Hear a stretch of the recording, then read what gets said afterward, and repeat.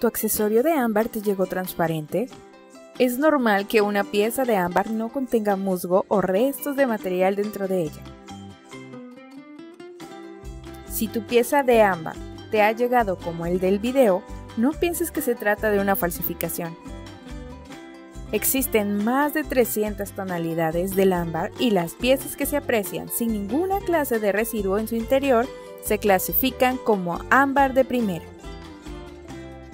Ojo, no quiere decir que una pieza que tenga musgo en su interior será menos valiosa.